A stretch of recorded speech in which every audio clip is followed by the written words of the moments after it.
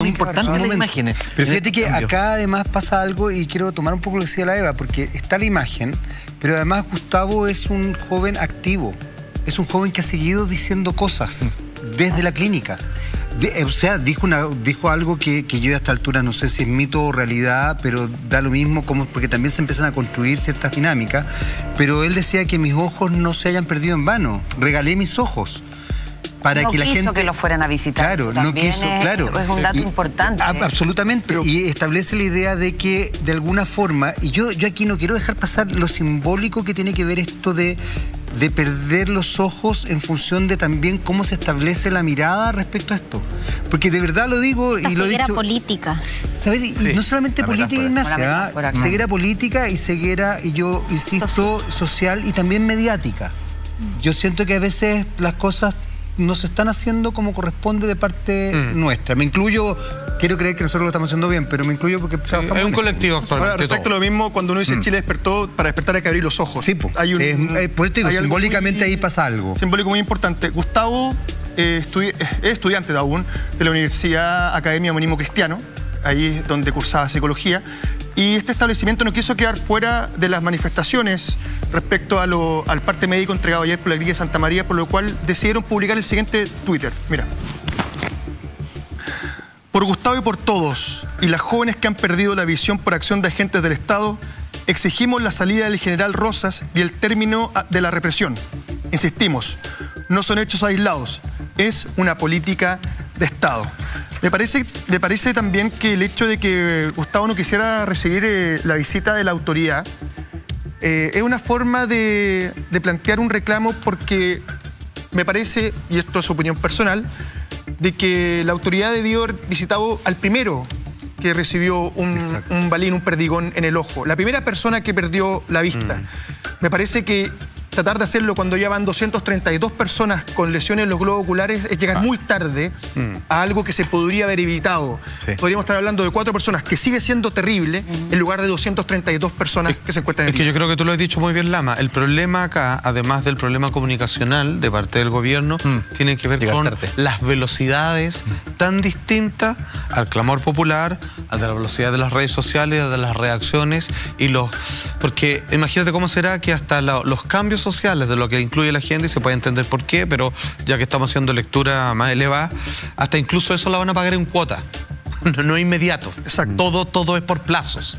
Y tiene que ver con eso. No es, nada es al tiro. Todo es espérate. Y cuando es espérate, demasiado tarde siempre. Es que es demasiado tarde. Es Eso que es lo que sí. si hubiesen sido las primeras personas afectadas, a lo mejor se hubiesen tomado medidas para evitar todo esto. Insisto, Por terrible. ejemplo. Sea una, sea Sí, por tres. supuesto. Pero efectivamente yo creo que él ahí lo que hace en el fondo es por mí y por mis compañeros. Ahora no vengan a verme. O sea, No, pero no, 200, no tendrían que haber llegado, no tendríamos que haber llegado a esto. Es lo que yo creo que, que Y Gustavo este no es un caso aislado, diciendo. este no es un caso aislado, si lo vemos co- por la- las denuncias que hacen, ya son decenas de mujeres por, por vulneración a sus derechos y la ministra de, de la Mujer y la Equidad tampoco ha estado presente, sin embargo la vemos cuando hay carabineras afectadas, que yo creo que está bien, pero también creo que está perfecto cuando hay denuncias reiteradas de mujeres por vulneraciones, entonces acá pareciera que esta conducta se da no solamente en el terrible caso de Gustavo, sino que en cada una de sus aristas.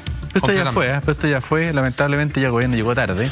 Ahora también en defensa del gobierno hay que reconocer que el, el Estado chileno no es un Estado moderno en términos políticos, es un Estado tremendamente lento, o sea, y ningún ningún ningún eh, partido, ningún gobierno en los últimos años se atrevió a modernizar el Estado, es decir, a ver, vamos a hacer un gran cambio, nos ponemos de acuerdo y vamos a la velocidad de la sociedad digital y no la analógica, te fijas, tampoco, Sí. y por eso nosotros vemos este gran quiebre ahora. Ahora yo creo que Gustavo tiene una gran oportunidad, yo los conozco a él, cuál es su temperamento, cuál es su talante, cómo es su personalidad, pero probablemente en él hay un líder de opinión a futuro y quizás puede eh, toda su, todo lo que está estudiando y va a seguir estudiando a futuro, lo puede después tangibilizar y enrilar en un camino de, de, de- de comunitario, más político de repente, Sí. ¿por qué no? Sobre todo con su particular carrera Claro. que puede seguir adelante perfectamente. Por las cosas que ha dicho, las pocas cosas que ha hablado también. Sí, claro. Este pobre cabro ha estado internado todos estos días.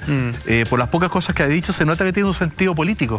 Absolutamente. y de y hecho- eso es súper interesante. Y de hecho toda la gente que lo conoce y, conversa- y conversaba, él decía que tenía un sentido así como, eh, era súper animalista, era un gallo súper bueno, eh, social. socialmente correcto y además siempre preocupado de la gente eh, con menos menos recursos, incluso, insisto, con el tema de los animales salía, les daba a comer a los, a los perros que encontraba.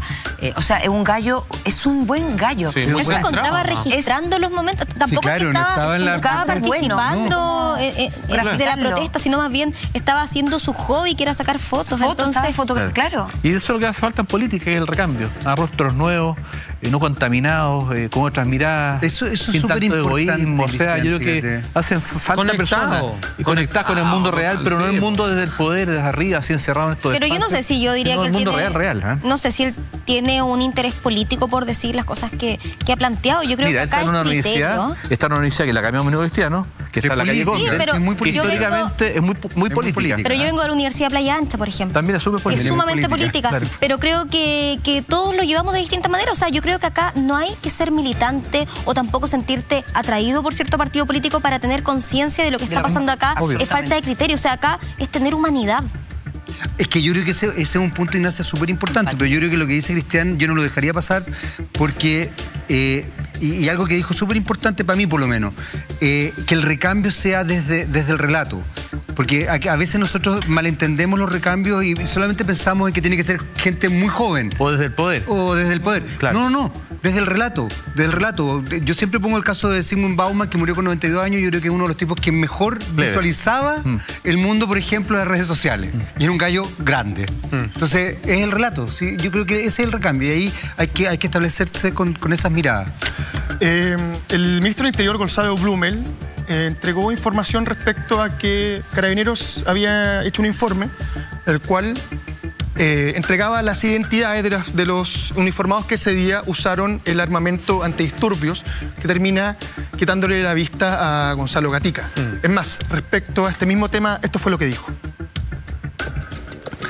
Se entregaron los partes policiales. La información de los nombres es una información que tiene que entregar Carabineros y si no lo ha hecho, le tiene que entregar porque es parte de la investigación penal. Hemos planteado al fiscal nacional que se apuren todas estas investigaciones. Continúa. Lo más importante es que haya justicia y a partir de la determinación de la justicia se establezcan las reparaciones que correspondan. Hay que ser muy respetuoso respecto del dolor y todo lo que podamos hacer como gobierno lo vamos a hacer, Gonzalo Brumel, ministro del Interior.